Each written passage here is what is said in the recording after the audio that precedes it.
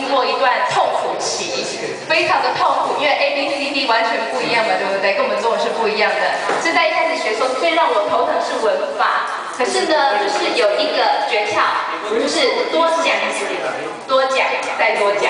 那除了诀窍以外，那除了这个呃文法以外，还有一个是我觉得蛮难的，我不知道你们会学到 elevate 的音，elevate。